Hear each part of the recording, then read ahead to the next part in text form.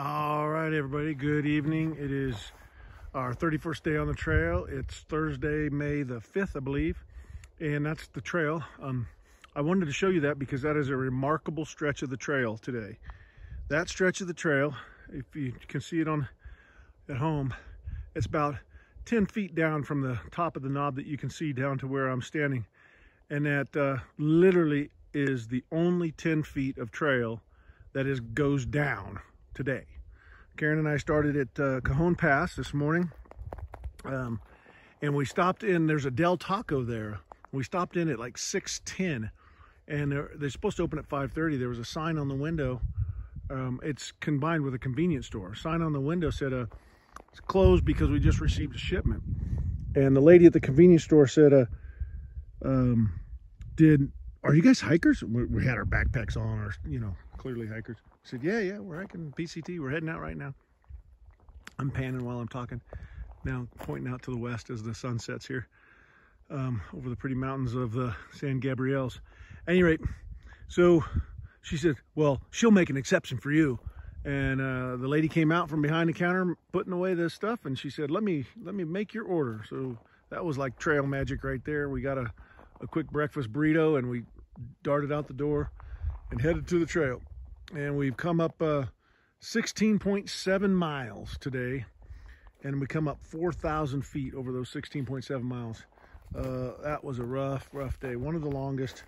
Uh, we got tired. We just got in here and um, we found this. It's not really on our on our Guthook application trail app, but it's on the map. And uh, so we at the analog map, we looked at that and said, well, let's take a look in here and uh, there's really not much here at Camp Hatchie.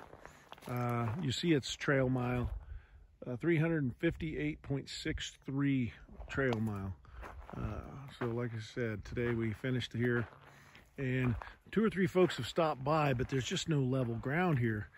Even we had a little bit of a challenge getting in here and uh, we, but we found something it's slopey and you can see it's slopey way downhill but uh, we're getting in there. We made dinner already, and uh, there's Karen working on finishing up her dinner and licking her wounds from today.